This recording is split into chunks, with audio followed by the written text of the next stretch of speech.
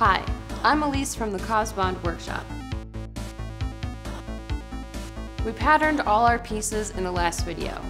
Now in this video, we can begin cutting them out of foam and assembling our armor.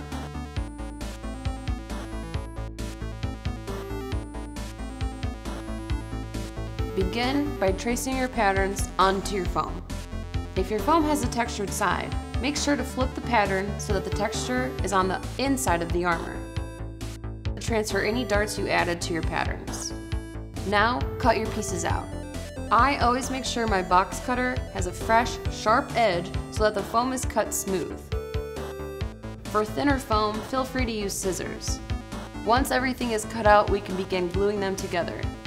I use contact cement to glue these pieces. Contact cement works well for pieces with constant pull, but always make sure to wear a mask when using it because the fumes are very toxic.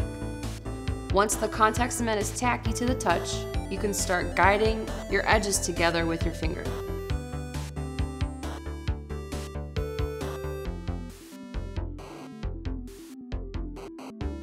When your contact cement is dried, you can use a heat gun and then make your pieces more round.